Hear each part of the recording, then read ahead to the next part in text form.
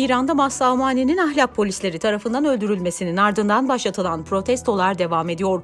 Gösterilerde birbirinden ilginç görüntüler sık sık medyaya yansıyor. Bunlardan biri de İranlı bir kadının giydiğini iddia edilen Atatürk resimli tişört. İddia edilen görüntü 21 Kasım 2022 tarihinde Profesör Ahmet Saltık adlı Twitter hesabından "Burası İran, başka söze gerek yok" başlığıyla paylaşıldı. Peki bu fotoğraf ne kadar doğru? İran'daki gösteriler sırasında protestocu bir kadın üzerinde Atatürk fotoğrafı bulunan tişört mü giydi? Fotoğrafın orijinalinin 30 Mayıs 2009'da Chicago Turkish Festival 2009 başlığıyla YouTube'a eklendiği rahatlıkla bulunabiliyor. Amerika'nın Chicago eyaletinde 2003 yılından itibaren her yıl geleneksel Türk Festivali düzenleniyor. Festivalin yedincisinde ise Atatürk resimli tişörtlü kadın sahnede poz veriyor. Görüntü İran'dan değil, 2009 yılında Chicago'da düzenlenen Türk Festivali'nin videosundan alıntılanmış. İran'daki bir protestocu kadının Atatürk resimli tişört taşıdığı iddiaları gerçeğe yansıtmıyor.